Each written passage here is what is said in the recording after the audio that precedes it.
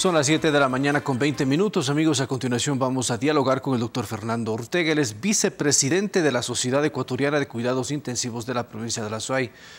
Doctor, buenos días. Gracias por aceptar la invitación. Después de este segundo confinamiento que concluyó justamente ayer, ¿bajó o no bajó la presión dentro de los hospitales públicos? Bienvenido. Buenos días. Buenos días, Hernán. Buenos días a todos los eh, televidentes. Pues la verdad que es muy temprano para poder eh, hablar de un efecto de la, del COVID, ¿no? Todavía los hospitales públicos y privados siguen saturados de pacientes graves y aún en los hospitales públicos hay lista de espera. Entonces, recién el efecto de las medidas de confinamiento se verán a partir de 7 a 14 días, que es un poco la evolución de la enfermedad, ¿no? Entonces, es muy temprano todavía para ver cuánto efecto ha sido y cuánta eh, ayuda ha sido para bajar la presión de los hospitales. El COE Nacional dice que el número de pacientes en espera a nivel nacional, incluida la provincia de La Soa y la ciudad de Cuenca, ha bajado. ¿Eso es verdad en la ciudad? No, nosotros seguimos todavía teniendo alrededor de entre 15 y 20 pacientes en lista de espera de cuidado intensivo, ¿no? De hecho, la semana pasada cuando eh, se dio este comunicado por parte del, COE nacional, nosotros estábamos con 25 pacientes en lista de espera. Realmente eh, no sé si en otras ciudades sea diferente la realidad, pero en Cuenca al menos siguen habiendo listas de espera de, enfermos graves eh, para cuidados intensivos. ¿Qué pasa en Cuenca? ¿Por qué hay esta realidad? yo creo que es la realidad de todo el Ecuador. Yo creo que es difícil evaluar o determinar la, utilidad de un confinamiento nada más por el número de camas de cuidado intensivo que estén disponibles. Hay que hacerles eh, notar que un paciente cuando ingresa a la unidad de cuidado intensivo probablemente esté entre, entre 7 eh, a 14 días, en el mejor de los casos, hospitalizado. Entonces es difícil poder evaluar desde ese, desde ese punto de vista la ah, efectividad de un confinamiento o las medidas de restricción. Yo creo que aquí sí es importante tener en consideración eso.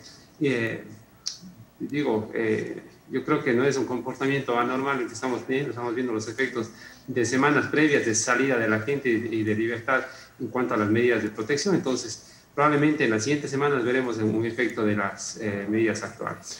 Cinco días de libertad, dos de encierro, ¿son medidas adecuadas?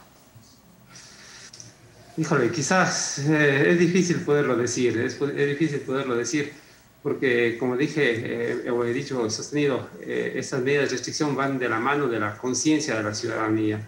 Si no somos conscientes, eh, nos pueden encerrar toda la semana o podemos estar confinados toda la semana o 15 días y no va a cambiar la situación. ¿no? De aquí yo creo que es fundamental, los confinamientos ayudan siempre y cuando las personas y nosotros como ciudadanos colaboremos y evitemos infringir la ley. ¿Qué hay que hacer? El último fin de semana, incluido el feriado del 1 de mayo, 90 personas detenidas en la ciudad de Cuenca, en la provincia de La Suay, 14 dentro de un casino que, dicho sea de paso, ayer el juez dio la libertad y dictó medidas sustitutivas. ¿Qué reflexión les da aquello? Eso muestra muy poca empatía de algunas personas, ¿no? Quizás no han tenido seres queridos o gente cercana en un hospital o gente cercana que haya fallecido por COVID y eso hace que actúen de esa, de esa manera y yo creo que ellos no son un buen ejemplo a seguir. Yo creo que eh, el mejor ejemplo que podemos dar a, nuestros hijos y a nuestras familias es cumplir las normas, ¿no? quedarnos en casa durante los confinamientos y tratar de acatar eh, todas las disposiciones, básicamente para eh, tratar de evitar enfermarnos y tratar de, evitar que algún miembro de la familia nuestra se enferme de manera grave y termine en un hospital y lo peor, que termine por fallecer víctima del COVID-19. ¿Cuál es la realidad de los médicos en cuidados intensivos? ¿Les falta algo? ¿Cuál es la, carga horaria? ¿Cómo están ustedes desempeñándose ante esta realidad? Sin duda dura.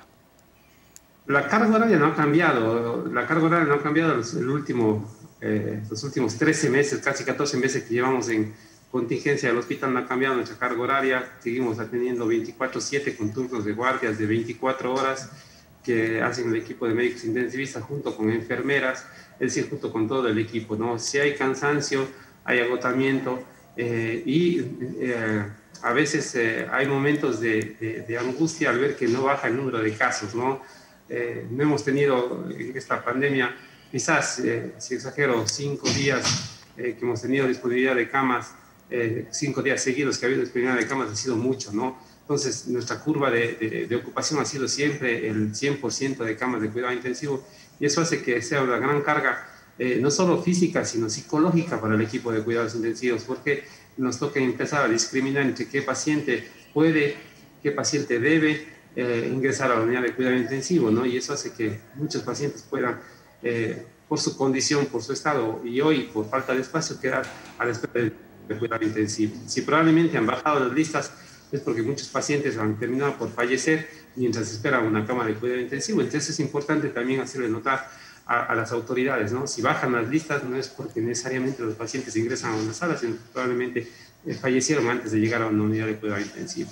Es decir, estamos en una tensión de guerra donde los médicos deciden en base a la realidad de cada uno quién atiende o no. ¿Entiendo así? Sí, eso ha sido, eso ha sido la realidad siempre. Siempre las unidades, antes de la pandemia, las unidades de cuidado intensivo han sido con camas, eh, con un número reducido de camas o con camas que han estado siempre eh, o han sido muy apetecidas para el soporte de los pacientes. Hoy es mucho más esa situación y eso hace de que tengamos que seguir protocolos estrictos de, eh, que determinan posibilidades de recuperación, enfermedades subyacentes, para nosotros poder elegir qué paciente se beneficia, entre comillas, de ingreso a una unidad de cuidado intensivo para tratar de que tenga la mejor posibilidad de sobrevivir al final de, su enfermedad. Doctor, una última consulta. El tema de las medicinas, ¿y hay medicinas suficientes para la intubación, por ejemplo? Eh, por ahora sí, por ahora sí eh, eh, tenemos, aunque es escasa todavía, ¿no? Escasa la, la medicación, la tenemos en el hospital. sigue habiendo ese problema de desabastecimiento de algunos de los fármacos. Especialmente ah, vivimos hoy la, falta de analgésicos opioides que sirven para, también para el proceso de manejo de la vía aérea e intubación, así como el, para el manejo del dolor en la unidad de cuidado intensivo. Hoy lo estamos supliendo, pero ha sido una situación que nunca ha dejado o nunca ha mejorado, por decirlo así. Hubieron ofrecimientos del ministro anterior, ministro de Salud anterior, ministro Ceballos, de hacer una gran compra nacional de, de, este tipo de fármacos, pero nunca se concretó, ¿no? Y hoy seguimos viviendo esta realidad. Sé o conozco por conversaciones con colegas que muchos hospitales públicos están en una situación crítica en esa condición. Doctor, muchas gracias, estaremos atentos. Muy amable. Que tenga un buen día. Un buen día, gracias a ustedes. Doctor Fernando Ortega, vicepresidente de la Sociedad Ecuatoriana de Cuidados Intensivos de la provincia de la Realidad en el tema de la COVID-19. Pausa, volvemos.